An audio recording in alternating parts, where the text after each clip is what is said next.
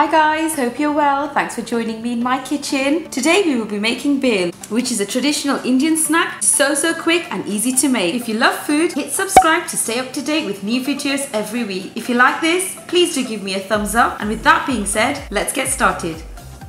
All these ingredients you can find in your local supermarket and you will need 2 cups of sev mamra, 1 cup of Bombay mix, some papri, and by the way, if you are unsure of any of these ingredients, then you can find them all listed in the description below.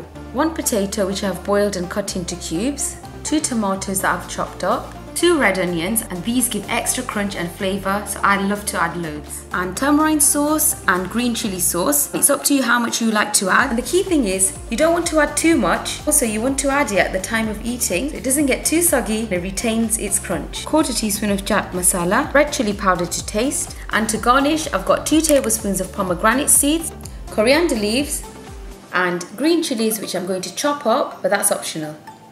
Right, this is such a quick and easy snack for when you have a party or you've got guests coming over. Very simple, crunchy and tasty. What I'm going to do now in my bowl, I'm going to add in the Bombay mix mixture. I'm just going to mix that up. And you'll see that when we add the rest of the ingredients, it's going to look so colourful. Now I'm going to add in the potatoes.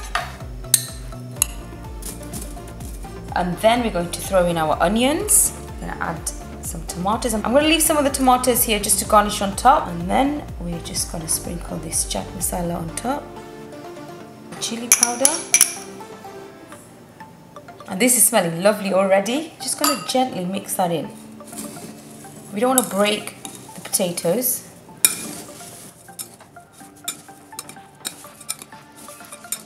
Okay, so that's nicely mixed up. And what we're going to do is, we're going to get our bowl and we're going to start serving. Okay, so what we do is, just take a spoon of this or two. And then I'm going to take some tamarind sauce. I'm just going to put about a spoon over here and a little bit of the green sauce as well. Then I'm going to take some more of this mixture and top that up.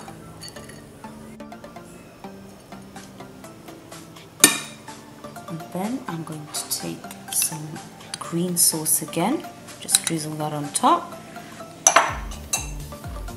And some more tamarind sauce. And I'm just going to break some of this papri on top to give it some extra crunch.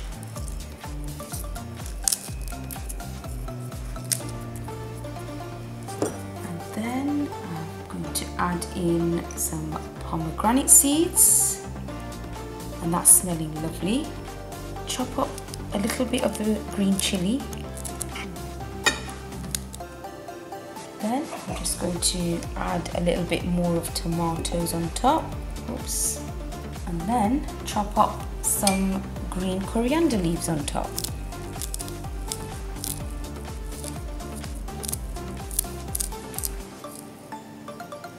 And there you go. That's all done. Your guests are gonna love this. Try it out, let me know what you think in the comments below, or you can even tag me in a picture. If you've made this before, I would love to hear what you did different. If you enjoy this, please do give me a thumbs up, and to see more delicious recipes, do subscribe. Thank you for watching, and I'll see you next time.